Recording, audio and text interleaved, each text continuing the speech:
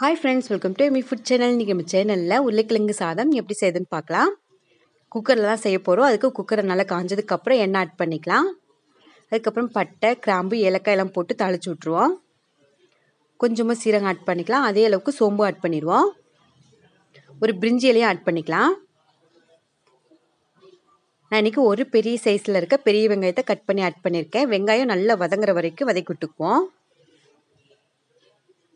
நான் அளவுகள் எல்லாமே வந்து ஒரு டம்ளர் அரிசிக்கு எடுத்திருக்கேன். ஒரு பச்சை மிளகாய் ஆட் பண்ணிக்கலாம்.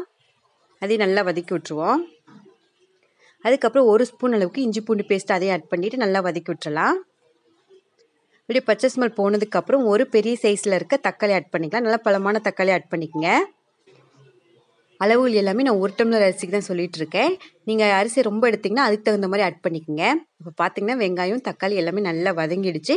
இனி நம்ம உருளைக்கிழங்கு ஆட் பண்ணிடலாம். அன்றைக்கி ரெண்டு பெரிய சைஸில் இருக்க உருளைக்கிழங்க தோல் நீக்கிட்டு கட் பண்ணி ஆட் பண்ணிக்க. கொஞ்சம் பெரிய சைஸாகவே போட்டுக்குவோம். அப்போ தான் அது கடித்து சாப்பிட்றதுக்கு நல்லாயிருக்கும். எல்லாத்தையும் நல்லா வதக்கி விட்டுறலாம். ஓரளவுக்கு வதங்கினதுக்கப்புறம் நம்ம தேவையான அளவுக்கு உப்பு ஆட் பண்ணிக்கலாம். கொஞ்சமாக மஞ்சள் தூள் ஆட் பண்ணிக்குவோம். காற்றுக்கு தகுந்த மாதிரி ஒரு அரை ஸ்பூன் அளவுக்கு ரெட் சில்லி பவுடர் ஆட் பண்ணிக்கிறேன். மிளகாய் தூள் கொஞ்சமாக கரம் மசாலா தூள் ஆட் பண்ணிக்கலாம் வாசனைக்காக. காரம் எல்லாமே பார்த்து ஆட் பண்ணிக்கோங்க. கிராம்பு பச்சை மிளகாய் எல்லாம் போட்டிருக்கனால கொஞ்சம் காரமாக தான் இருக்கும். ஸோ உங்கள் தேவைக்கு அளவு ஆட் பண்ணிக்கோங்க. மசாலுடைய பச்சை ஸ்மெல்லாம் போனதுக்கப்புறம் கொஞ்சமாக மல்லி இலையும் புதினா இலையும் ஆட் பண்ணிக்கலாம். எல்லாத்தையும் நல்லா மிக்ஸ் பண்ணி விட்டுருவோம். அரிசி பார்த்தீங்கன்னா இந்த டம்ளர் ஒரு டம்ளர் அளவுக்கு எடுத்திருக்கேன். சாப்பாட்டு அரிசி தான் எடுத்திருக்கேன். நல்லா ஒரு அரை மணி நேரம் பக்கம் ஊற வச்சுருக்கேன். ஒரு எல்லாத்தையும் நல்லா மிக்ஸ் பண்ணி விட்டுருவோம். சாப்பாட்டு அரிசி அப்படிங்கிறனால நான் ஒரு டம்ளருக்கு மூணு டம்ளர் அளவுக்கு தண்ணி ஆட் பண்ணிக்க போகிறேன் பாஸ்மதி ரைஸ் சீரக சம்பா ரைஸ் அப்படின்னா வந்து ஒரு அரை டம்ளர் அளவுக்கு தண்ணி குறைச்சி ஆட் பண்ணிக்கங்க.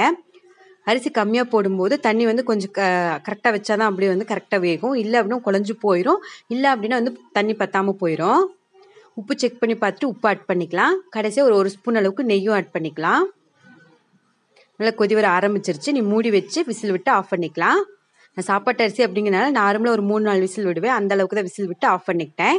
அடுப்பு ஒரு மீடியம் டு ஹை ஃப்ளேமில் அந்த அளவு அளவில் வச்சுட்டேன். உருளைக்கிழங்கு சாதம் அப்படின்னாவே எல்லாருக்குமே ரொம்ப பிடிக்கும். நம்மளும் ஈஸியாக செஞ்சிடலாம். கண்டிப்பாக ட்ரை பண்ணி பாருங்கள் ஒரு நாலு விசில் விட்டு அடுப்பு ஆஃப் பண்ணிக்கிறேன். ஒரு அரை மணி நேரத்துக்கு முன்னாடியே வந்து ரெடி பண்ணி வச்சுருங்க. அப்போ தான் வந்து விசில் ஃபுல்லாக அடங்கி நல்லா அந்த சூட்லேயே வந்து அரிசி நல்லா வெந்திருக்கும். ஏன்னா நம்ம கம்மியான அரிசி போடுறப்போ அவசர அவசரமாக செஞ்சோம் அப்படின்னா அது வேகாத மாதிரி இல்லை குழஞ்சு போன மாதிரி இருக்கும்.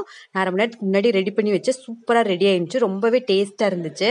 குழந்தைகளும் விரும்பி சாப்பிடுவாங்க. கண்டிப்பாக ட்ரை பண்ணி பாருங்கள் ட்ரை பண்ணி பார்த்துட்டு எப்படின்னு எனக்கு கமெண்ட் பண்ணுங்கள் லைக் பண்ணுங்கள் ஷேர் பண்ணுங்கள் இது வரைக்கும் சேனலை சப்ஸ்கிரைப் பண்ணாமல் பார்த்துட்டு இருக்கீங்க அப்படின்னா மறக்காமல் சேனல் சப்ஸ்கிரைப் பண்ணிவிட்டு அப்படியே பக்கத்தில் இருக்க பெல் பண்ணி கிளிக் பண்ணிடுங்க உங்கள் ஃப்ரெண்ட்ஸ்க்கெல்லாம் ஷேர் பண்ணி விட்ருங்க ஓகே ஃப்ரெண்ட்ஸ் பாய்